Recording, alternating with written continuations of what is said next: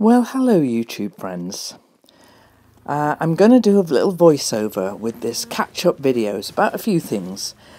Uh, it was a most glorious day yesterday, a good day for inspecting the bees. Uh, if you're a beekeeper, you'll know you need to look at the bees in the summertime about every week to see, firstly, the health of the hive, but also to see if they're thinking about swarming and splitting off the colony. That's how bees reproduce themselves, is by making another queen cell or several queen cells and taking a load of worker bees and a new queen um, off to another location. Well, you don't want to do that if you're a beekeeper. You want to keep all your bees in your hive so that they can make you honey. So I was checking for queen cells.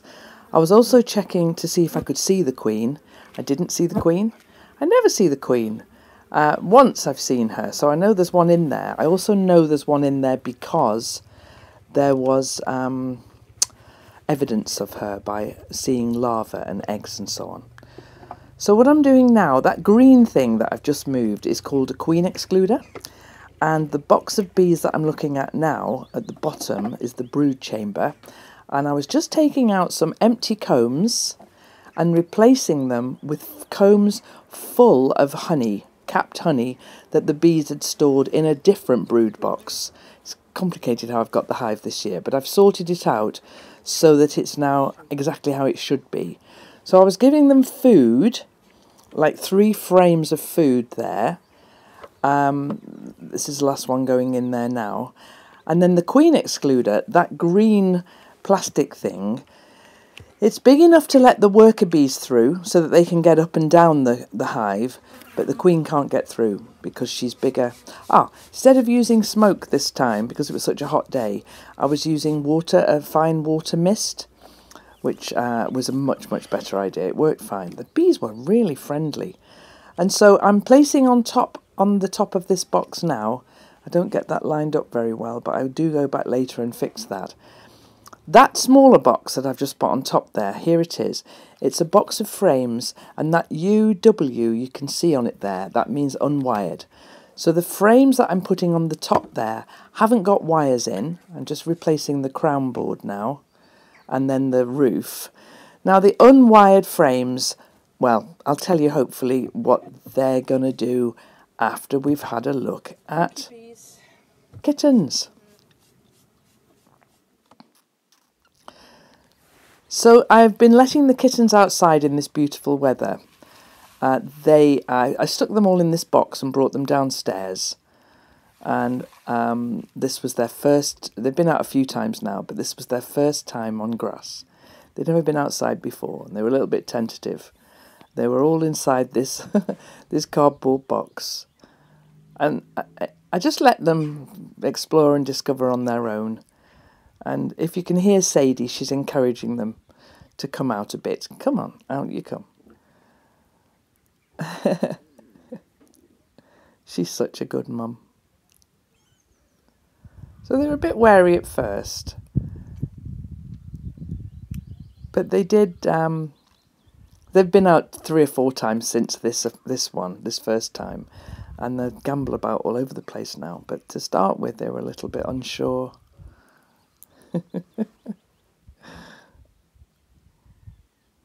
so all the kittens have homes now, uh, really good homes. People who are really looking forward to seeing them.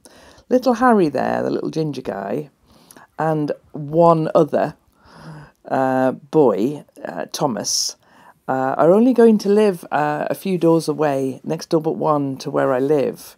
And so I think I'll see a lot of them as they grow up and settle down into that new home.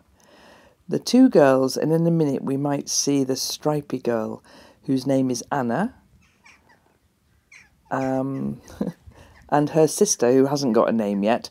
They're going to a friend of mine who lives, oh, maybe, I don't know, 25 miles away or so.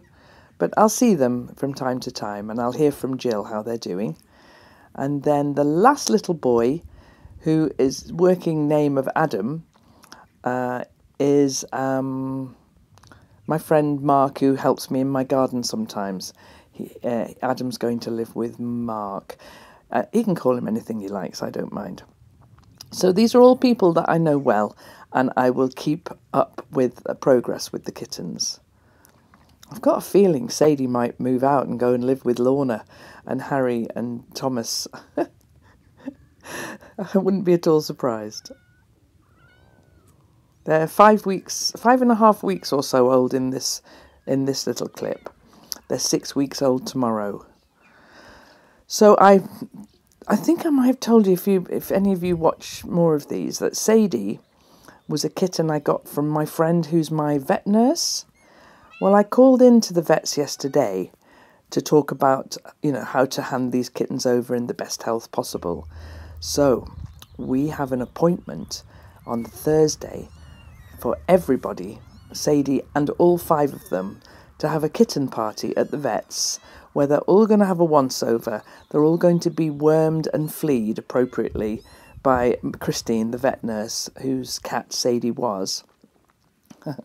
uh, and she'll enjoy catch up, I'm sure. And it means that the kittens will go to their new homes in the best health possible, and also uh, Sadie will have a once over to see how she's doing and uh, I, I want to get her spayed so that we don't have kittens again.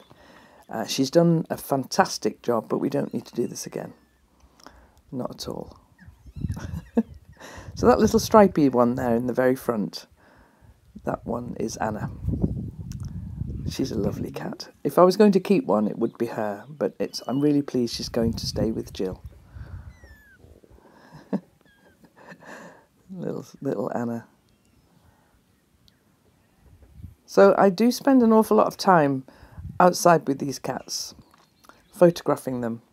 So the other thing that I, the other thing that I've done with the kittens, uh, just yesterday, uh, I moved them all downstairs.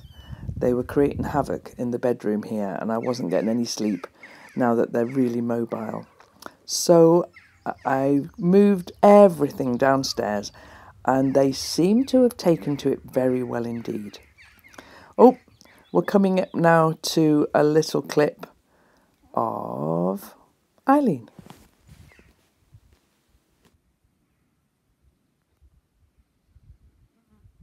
It's about eight o'clock at night. Still beautiful. I took Eileen up for a swim. I've been taking her for a swim every night while it's been so hot. Can you see Sadie in the shadows there?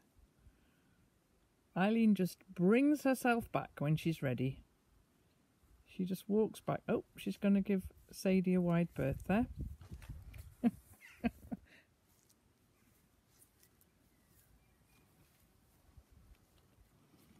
there she goes. She just puts herself back into her little bit of garden. She's had a lovely swim, a good flap. Well, she's just eating a bit of grass there. This is a proper random video. it's a bit of a catch up. I walked to the top of the hill opposite the house after I'd taken Eileen for a swim just to watch the sunset. This was last night.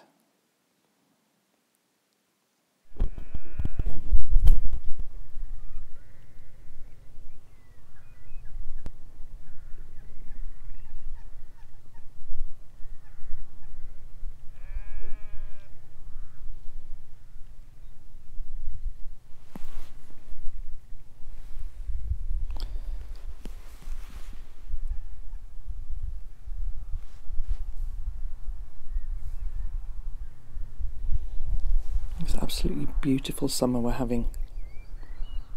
So, thank you so much for watching.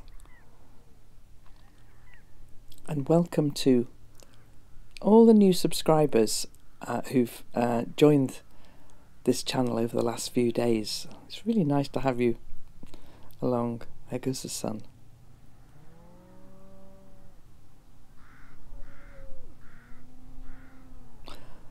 See you next time.